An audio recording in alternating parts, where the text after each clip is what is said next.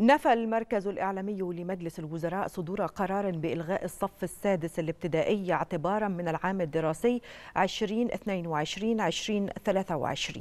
أكد المركز الإعلامي استمرار نظام سنوات الدراسة كما هو دون أي تغيير سواء في مرحلة التعليم الأساسي أو المرحلة الثانوية.